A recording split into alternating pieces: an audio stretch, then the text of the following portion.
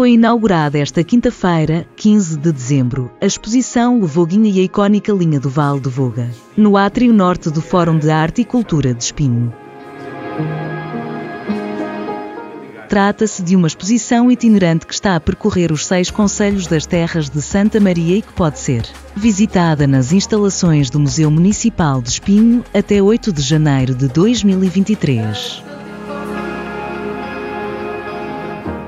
São abordadas nesta exposição as seguintes temáticas: a construção da linha, as suas estações, as profissões ferroviárias, os diferentes comboios que circularam nesta linha, a inovação no Vale do Voga e, por último, o futuro da linha.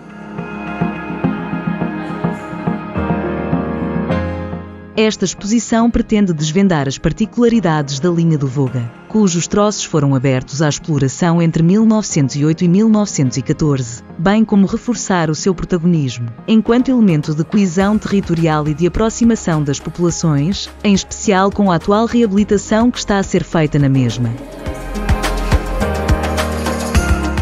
Esta foi a última paragem desta exposição, depois de já ter estado presente em Arouca, Oliveira de Azemais, Santa Maria da Feira e São João da Madeira.